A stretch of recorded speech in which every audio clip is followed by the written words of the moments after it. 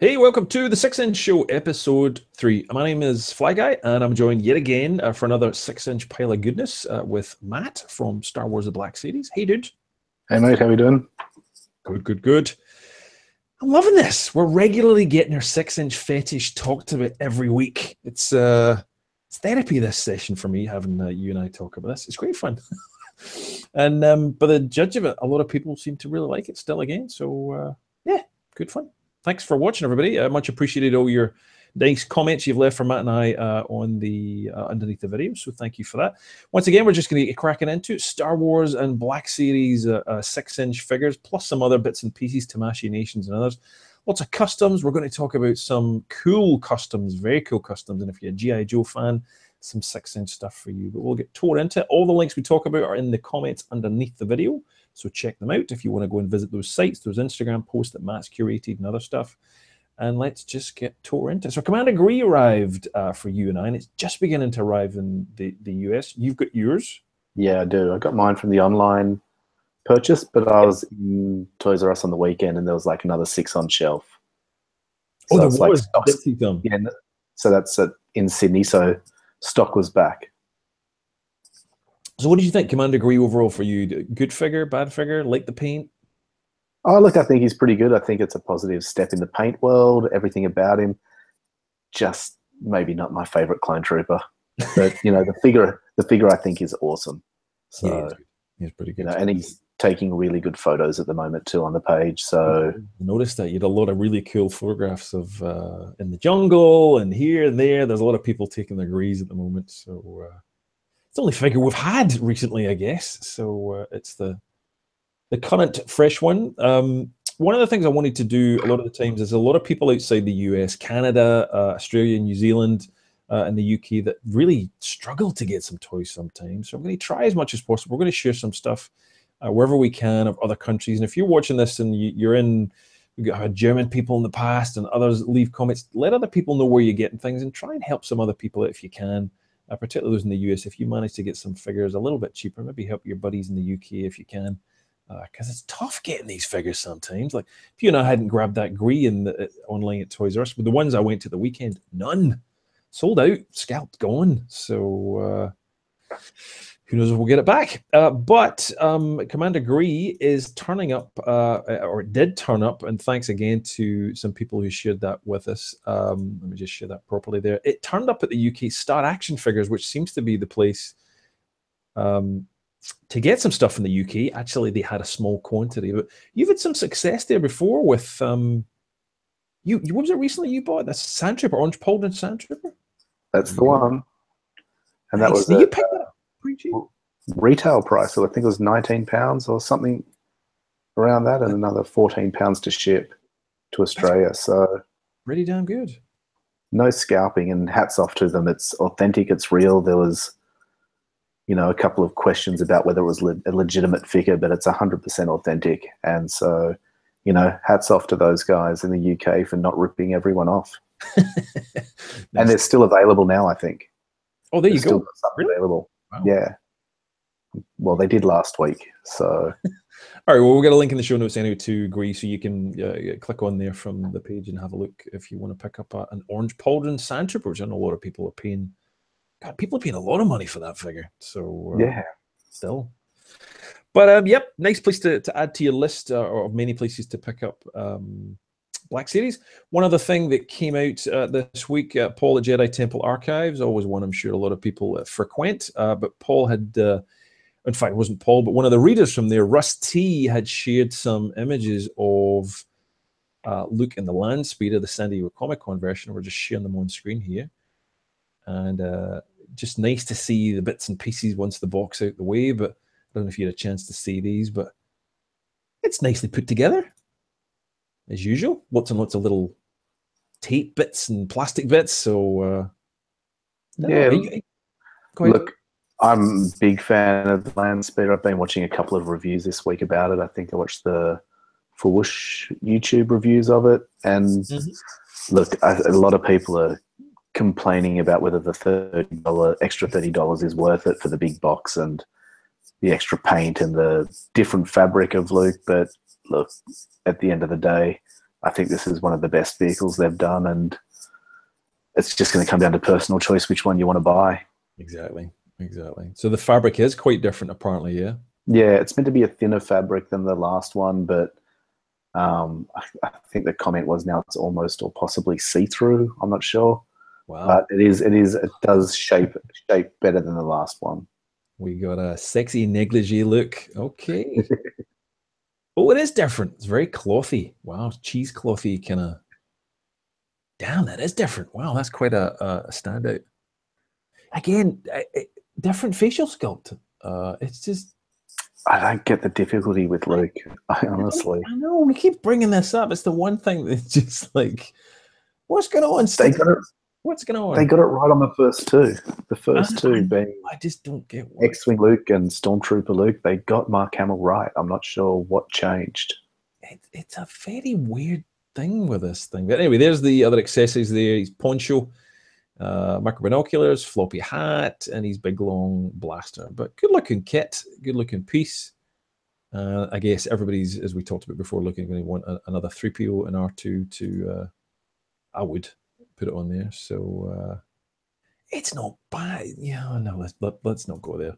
Um, so yeah, nice nice pictures here. Thanks for sharing that, uh, Russ uh, and Jedi Temple Archives for letting us all get a chance to see it. So it looks pretty good. Nice packaging. Really look, does look quite good. I'm looking forward to getting that.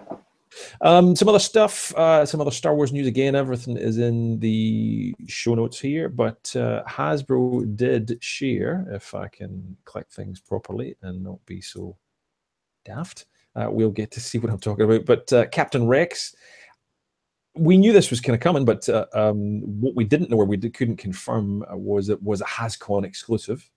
Um, and it's exclusive packaging that HasCon is getting. So if you're able to attend the Rhode Island um, uh, Has Con uh, uh, in September, then you will be one of the first to be able to pick uh, this uh, exclusive up. Now, I believe when you and I were talking about this, we think, and I think it's a fair guess, I would say, is that it's probably going to be the same as the Erso and um, what was the other one? First Order Stormtrooper kind of Slayer. Yeah. It could be. Um, it's one way of doing it, but uh, it would make sense. It would stand along with the other two. Mm, I think kind so. of fits. I'm not sure what the other exclusive packaging would be unless they went the standard box with the grey side. I think people have been talking about whether the Last Jedi figures will take a grey backing instead of the red, but I think last year the Obi Wan had the grey backing. I think the grey backing is a um, a con exclusive mm. packaging if you look at it, rather than they're going to make a jump to red from the red to a grey. I think that you know those uh, the Luke and Rey pack isn't an indication of what's to come, more so what had come last year with Obi Wan. So yep. we'll either get a figure looking like that, or one I think looking like Jyn and the First Order Trooper, but something to go within these con mm. packages rather than the red packaging or a variation of the red packaging for sure. No, I think if it was going to be something like kind of Grease helmet or something kind of uh, crazy packaging wise, it wouldn't be a twenty four ninety nine price point. I'm sure they would uh, they would add quite a bit more, but we'll find out soon enough. So uh, fingers crossed. Uh, we should. We've certainly tried to. I'm going to try and attend HasCon or one of our photographer people friends are. So I think we should probably also um, point out because a lot of people are commenting on my posts about the Rex that he is coming out next year. This is yeah it's the packaging that's exclusive. It's not the figure. The figure will be available next year. Call it spring 2018 or thereabouts with the good point. Um, the new head, and we don't know what head this one will have, but um, at the end of the day, Rex is not a HasCon exclusive figure. He will be available later sure. on. It's just an early release. Yep, the packaging, to be clear, is yeah. the uh, exclusive part of it. And I guess getting it six months, probably if not more, uh, ahead of uh, when it does eventually come out. So uh, yeah, yeah. Um, some other bargains have been happening in the states. Uh, a lot of the WalMarts, uh, I'm sure you've seen this as well. But uh, uh Scott from Tulsa, always a bargain hunter out there, was finding uh, 40th anniversary for nine dollars. I've seen a lot of other people find Wave One. We can't even get Wave One in some quantity here, uh, and a lot of people in the UK are still desperate for it too. In fact, a lot of people in the states are still looking for Wave One. But it's already in a little of Walmarts down to nine bucks, uh, along with some Marvel Legends. Hats, hat tip to uh, Jared for letting me know that as well. So, lucky peeps if you can find them, I guess. Um, so that's some deals that are happening uh, stateside. Um, just, I'll skip ahead here a little bit, but the um, Australian stores are seeing uh, there's a store here called the Reject uh, Shop uh, and it, I'm sure you knew about this. Maybe you saw this. I don't know. I never, we never talked talk, talked about it. But look, Ahsoka First Order Snowtrooper and Old Han are 15 bucks. Did you? Yeah, I saw that um, over the weekend. I think. Yeah. So, so they've all popped up, and again, the reject shop is looking to be, I don't know, the supplier of Black Series in Australia. It's kind of bizarre. We get them for like I don't know, it's about 12 US dollars or something. They're old, but hey, that's that's not that's a great price for us. So. Uh, at the moment, they're competing with Toys R Us, who's still trying to sell them discounted at twenty four dollars.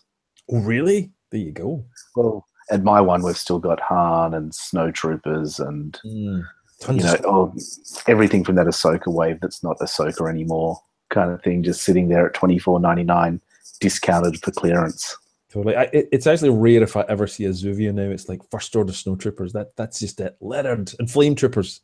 Although even they're yeah. dying out a little bit. So uh, so yes, um, one of the little thing we'll jump ahead here again a little bit is um, uh, numerous other e-tailers and retailers and JTA uh, also themselves this week had had kind of stressed this as well. They'd heard from their kind of rumors and other places uh, that R2 solids and Han Solo solid 40th anniversary cases are definitely coming. It seems uh, to e-tail rather than retail.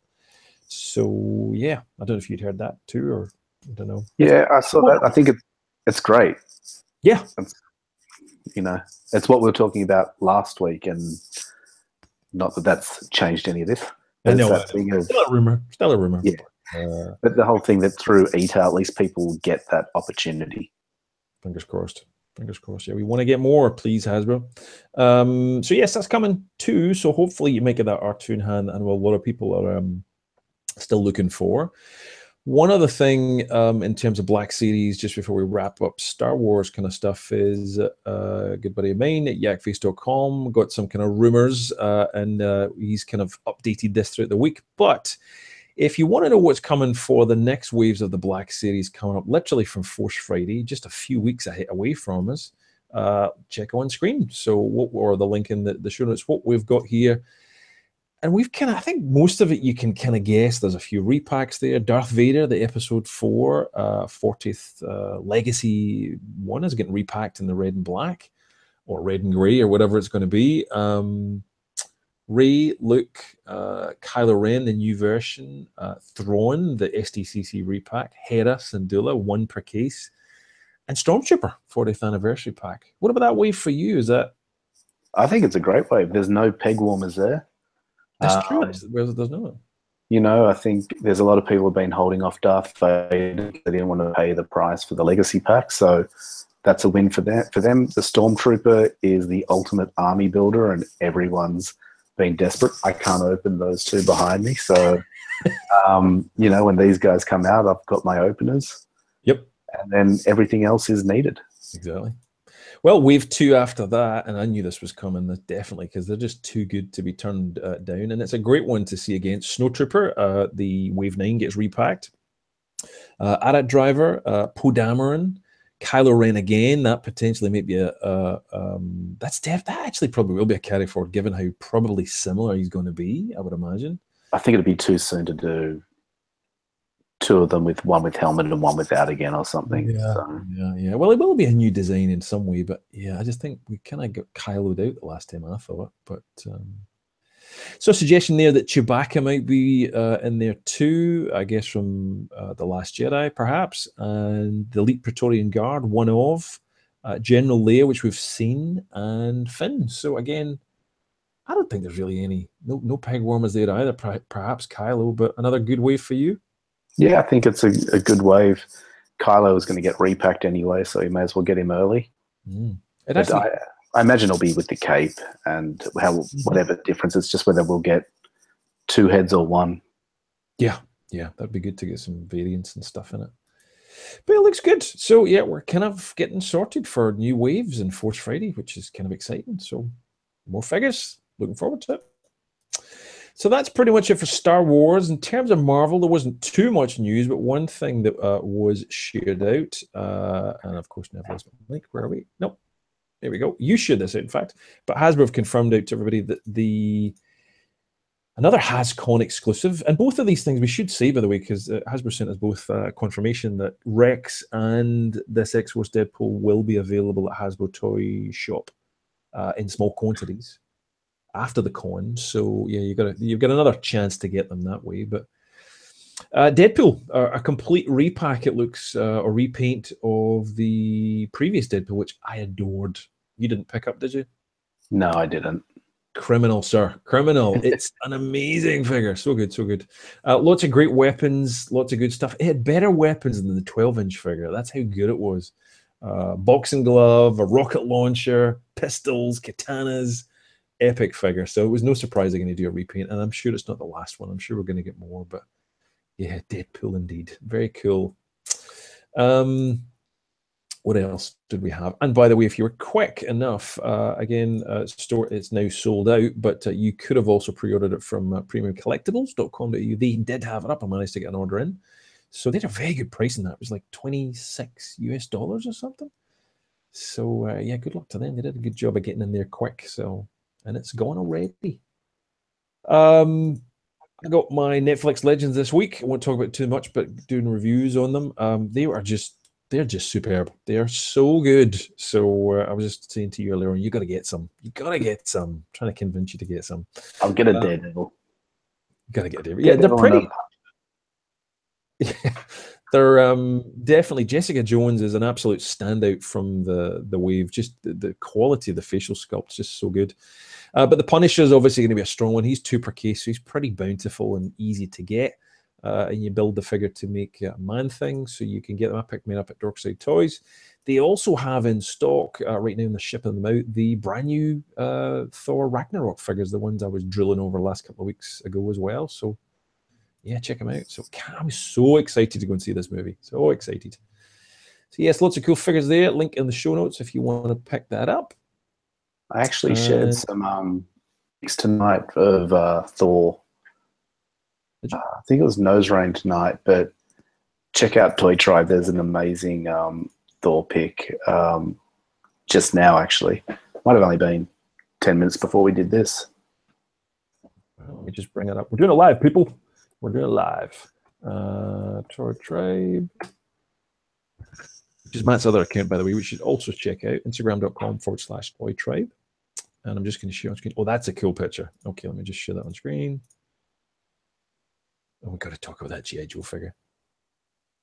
Wow. I love this effect, the effect that people are doing, the rain and snow was another one. Yeah, that's pretty cool. It just looks like Chris Hemsworth or his brother, but it looks like a Hemsworth. It does. a Hemsworth. Any any Hemsworth will do. Um, there's some more there we should just talk about. We're going to talk about this a little bit. The special feature this week we're going to talk about is custom uh, six inch figures. And look at that. I mean, that's just wow. Uh, jeez, I just that's a whole other just amount of money that I'm going to spend. But yeah, we'll, we'll talk about that. We'll come back and talk about that stuff. But great stuff. Definitely check that out. Instagram.com forward slash toy tribe. There's links in the show notes. Um, but that's what we wanted to talk about. This kind of big chunk. And you, this was last week after the episode two had gone off the air. Um, this evil man started telling me that GI Joe figures. I didn't know about this at all, uh, but a couple of people on Kickstarters and other people you'd been sharing had shared out that um, there's a whole bunch of people out there basically making ninjas and uh, Medusa and classic warriors. What's what's going on about all this stuff about six inch customs? I didn't know much about it you've got I, I, guess I'd call them uh, independent toy lines, and you know you've got um, two that I kind of uh, am across and following.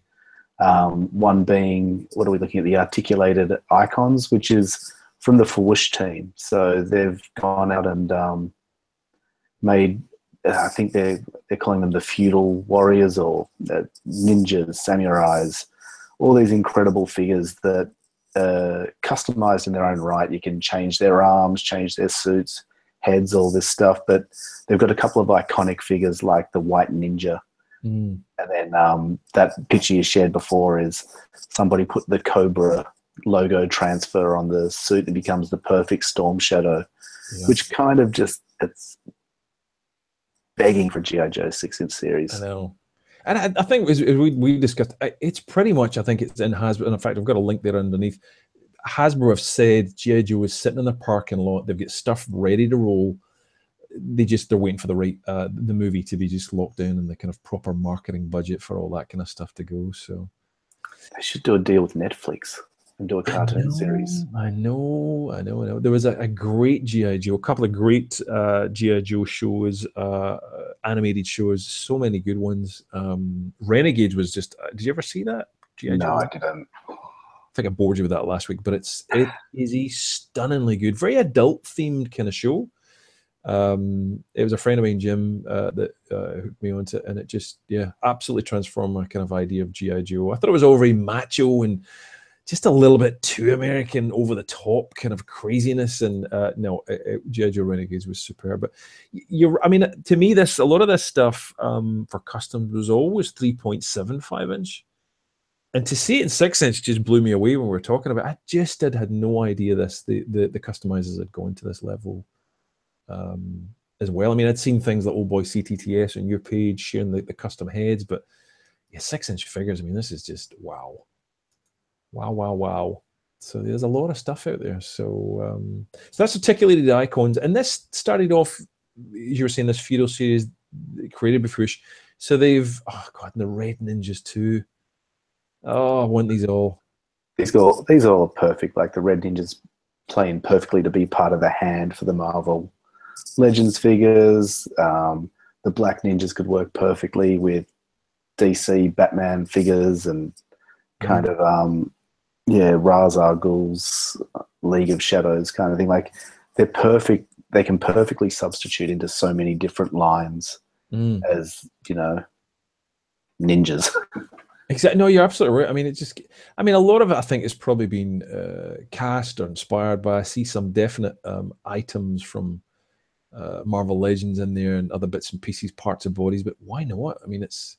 And again, just this is just begging to be made. These simple kind of figures, um, they are superb. They look so good and very kind of weathered. I think the paint on them looks fantastic. Very kind of like old boy CTTS, very weathered and uh, uh, stylized faces, not just you know straight plastic. Uh, yeah, and not, and not, that expensive, really. Uh, I mean, you, they were pledging there. What was it? Uh, a basic ninja for thirty-five bucks. That's pretty yeah. sweet. Damn. And that's um that's similar pricing to the Mythic Legions, which is the other yep. side of this um, which independent toys. So mm. take us through some of this because you've already got some of these. You get more than I do.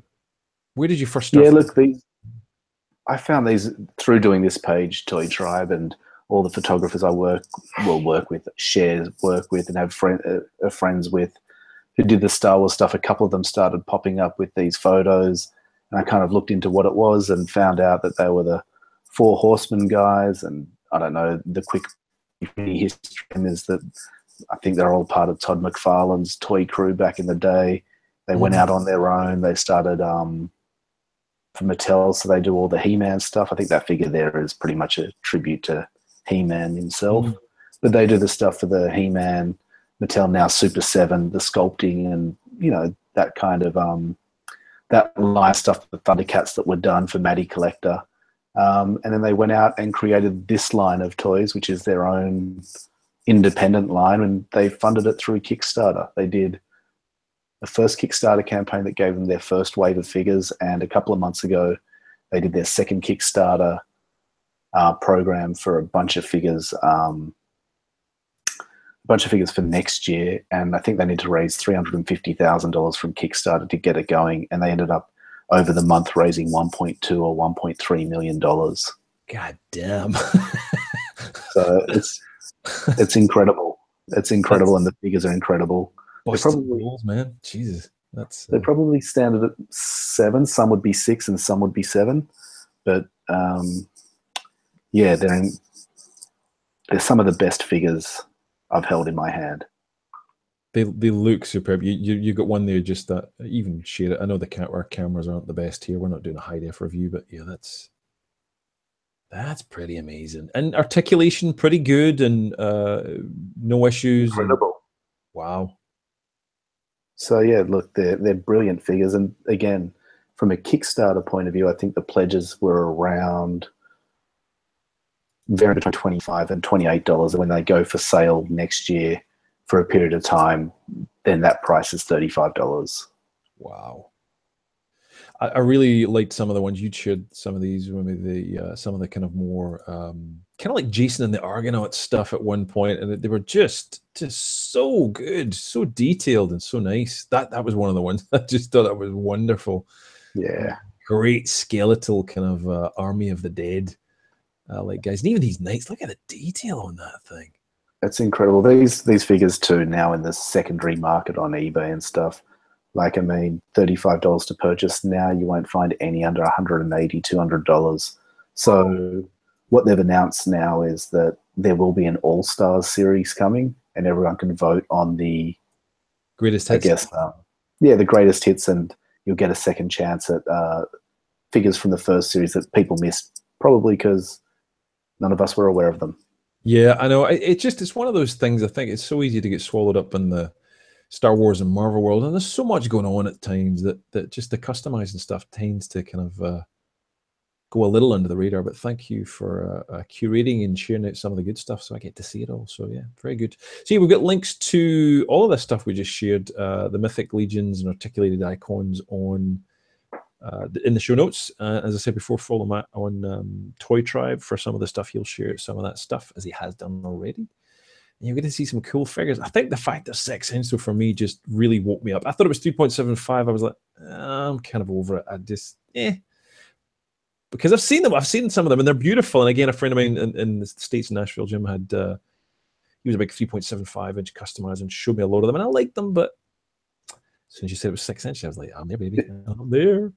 Um, Something else uh, we wanted to share. We've um, both seen these in the past, but just since obviously this is the six inch show, we're bringing it back up and uh, we're talking about some cool packaging. And that is from uh, a guy who runs N8 Products, or Nate as his name is. Uh, and he's got a little eBay store. Um, I shared some of these a while back as well, but they just, they're well worth looking at again and again just to drill over. Do you ever get round to buying any or?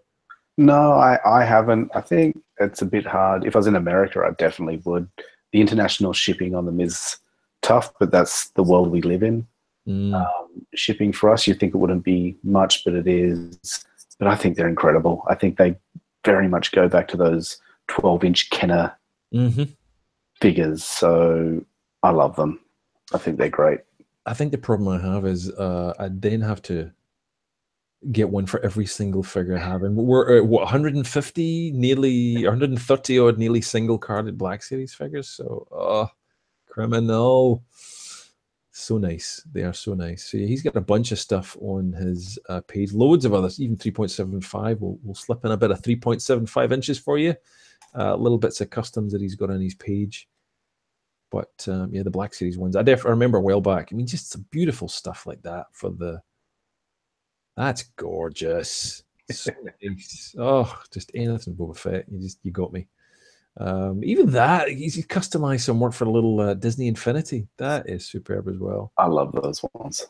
That is cool. I must show that to Jason. Yeah, if he's a big Proto uh, Fett fan.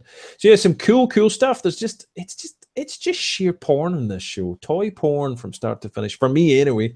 Uh, it, any products, uh, check them out. There's a link in the show notes again. Uh, really, really cool stuff. What else we got? Um, Hasbro after San Diego Comic Con, I think we kind of covered this, but just a, a very quick share. Uh, they did send out the official high res images uh, afterwards. You and I talked about San Diego Comic Con. We looked at this, the images. The photographer was there uh, of ours took pictures, but yeah, they, they, shared out some high res. You posted out some some on, on your Instagram page as well. Um, definitely some great stuff, and great to see some of the close ups of the Ghost Rider bike and these guys that we were talking about here are just going to just sell by the bucket load. People just love these Hydra soldiers. Men in yellow spandex, not good. Anyway, um, yeah, lots of high res images there, and I think 12 inch as well. But uh, all good stuff if you haven't seen them yet. Good stuff. Uh, we never really get a chance to uh, cover this last week, but I thought I'd slip it in there. Uh, toy art always good for getting photographs. Now I saw this at Star Wars Celebration. They did have this on shelf, but it just it's so goddamn creepy. Um, they're just so good. Now we talked about this before. You don't have any Tamashii Nations yet. No, not yet, and I don't think I could put that in my house. Yeah. my my two would be terrified. Oh, really? Really? Oh, there you go. That's cool. That's badass. That's, that's horrific. I'm just kidding. It is, it is pretty horrific, actually. It is very horrific. But not so horrific is Jango Fett. So uh, we'd seen that again a while back, but again, they just get some other shots from uh, San Diego Comic Con, which we didn't share. So if you hadn't seen those at Star Wars Celebration, they were out there at um, SDCC, and they're definitely were worth uh, picking up if you've not gone there yet. And of course, Proto Fett, which made a brief appearance if you missed it up on Big Bad Toy Store, and it's yet to come to some other online e-tailers and stuff. Um, custom time. Yeah, you had a lot of cool customs that we um, uh, and also, I should mention there was in the show notes there just a little video clip there from I can't remember the exact site. We put their video clip up there where uh, basically the Derryl DePriest from Hasbro confirms they have GI Joes uh, sitting in the wings waiting to go. Not necessarily six inch, but uh, that they're literally sitting waiting for a movie to go. So uh, there is confirmation of that there. Um, but you posted some uh, Instagrams, and we've already covered one. I think just that awesome uh, Storm Shadow, but there's some other ones. I'm just going to share some of them on screen.